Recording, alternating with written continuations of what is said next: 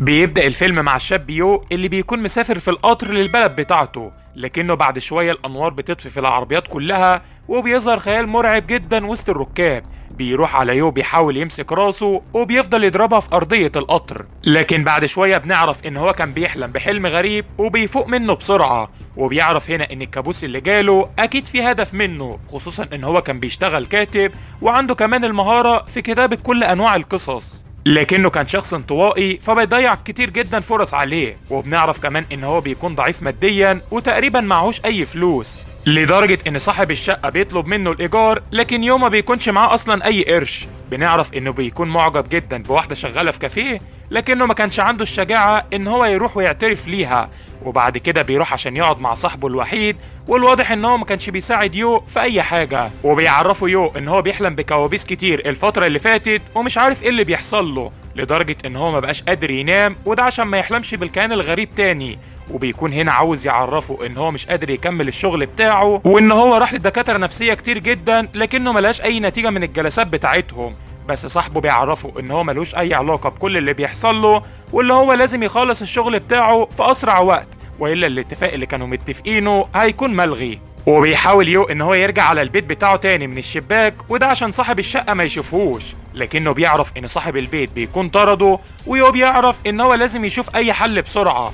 فبيروح عشان يشتغل في كافيه وبيكون قاعد على اللابتوب بتاعه. وبنعرف إن ال shift بتاعهم بيكون قرب يخلص وبيوصل تاني الظل المرعب على يو. بيكون عاوز يقتله لكننا بعد شوية بنعرف إن يو كان بيحلم في الكافيه وإن هو نام من كتر التعب. وبيكون تعبان جدا ومش عارف يروح فين لأنه ولا معاه أي فلوس والراجل طرده من البيت بتاعه. بيقرر هنا إن هو ينتحر ويريح نفسه وبيكتب رسالة على موبايله عشان الناس تعرف هو انتحر ليه. وقبل ما يروح ويرمي نفسه من السطوح بيظهر قدامه راجل عجوز وبيقدم له أكل وبيفضل يتكلم معاه شوية.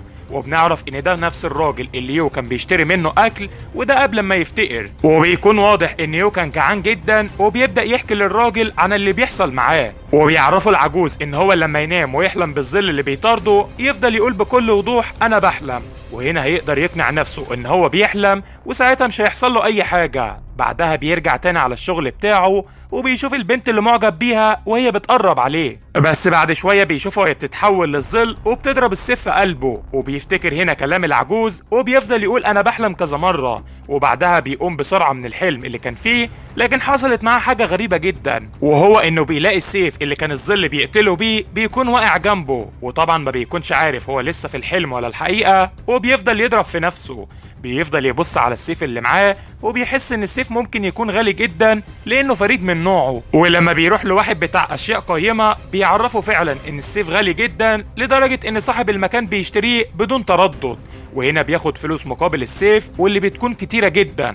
لدرجة إن هو بياكل بيها في أحسن المطاعم وبيروح عشان ينام في فندق خمس نجوم وكمان بيشتري لابتوب جديد عشان يشتغل عليه ويكمل اللي بيعمله. ولما بيجي ينام بيعرف إن هو زي ما خد السيف من الحلم ممكن ياخد أي حاجة تانية معاه. وإن هو عنده قوة خارقة يقدر يستفاد منها وبيبدأ يفكر إن هو ممكن يسرق أي حاجة ويبيعها هنا في الحقيقة. وساعتها يو ممكن يحقق كل اللي نفسه فيه ويكون أغنى راجل في العالم. ولما بيروح يو تاني في الحلم بتاعه بيجي الظل مرة تانية والمرة دي بيكون ماسك فاس في إيده لكنه بيفضل ماسك في السيف وبيرجع بيه للعالم الواقعي مرة تانية وبيروح بسرعة على الراجل تاني وبيكون الراجل المرة دي مستغرب وبيديله فلوس أكتر من المرة اللي فاتت لأنه الفاس بيكون نادر جدا وبيكون يو حاسس إن حياته بدأت تتغير للأحسن وفي خلال يومين بيقدر إن هو يجيب كل الحاجة اللي نفسه فيها. وبيعرف يو إن الأحلام اللي كانت زمان نقطة ضعفه دلوقتي هتكون مصدر قوته. وفي يوم بيقرر يو إن هو يجيب كتاب عن متحف أثري ويفضل يشوف الصور اللي فيه وده عشان لما ينام يحلم بيه. وفعلا بيلاقي نفسه في المتحف وبيشوف حاجات قيمة جدا حواليه. وبعد لما بيلف فيه بيهجم تاني الظل عليه.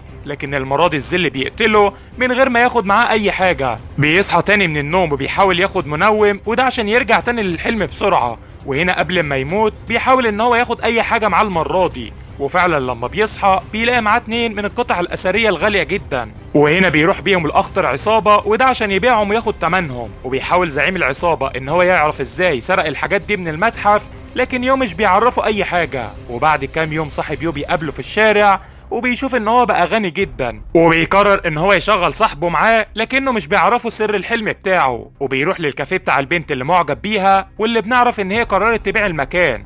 وطبعا يو بيستغل الفرصة وبيشتري منها الكافيه بضعف الثمن اللي هي عاوزاه. وبيحاول يو المرة دي إن هو يتعرف عليها وفعلا بيخرج معاها عشان يتعشوا. وبيكون يو واثق في نفسه المرة دي بعد لما معاه فلوس كتير جدا وكمان لبسه بقى أنضف.